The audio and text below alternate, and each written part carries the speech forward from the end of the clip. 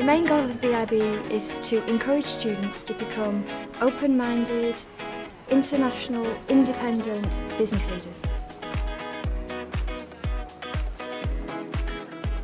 The BIB is international, professionalising and global-minded.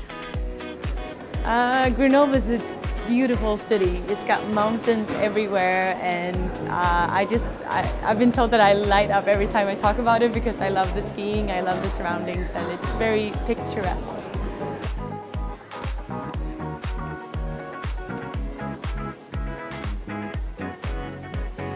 It went fulfilled beyond my expectations, beyond what I expected. Um, I think it's I think there's a big difference when you go to the GEM's website and you see all the list of the modules and a difference between actually experiencing it, feeling it by yourself. In terms of preparing for the career, I think that's one great advantage of Grenoble is that it just um, gives you a great insight into the business world itself. In the first year we have an introduction to business, the fundamentals of business.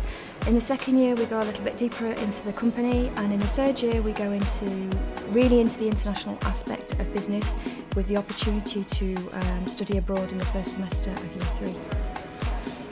So before the bachelor I was more uh, looking for an opportunity of job in France but since I did my bachelor and then my exchange in China I had the opportunity to meet different people from different nationalities the BIB program is, is, quite diverse. In my class, for instance, we have people who, who come from, from China, from Switzerland, from France, from Brazil, uh, from the US as well.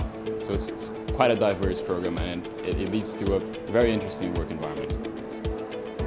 So I think the fact that you do have people who um, speak so many different languages, who bring so many different things to the table in terms of their own business experiences, that brings creativity, that brings a lot of different things to the whole aspect of group dynamics and team dynamics.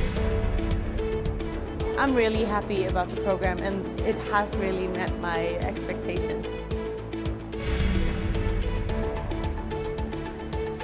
I feel like a different person after entering this program, I must say. Bye.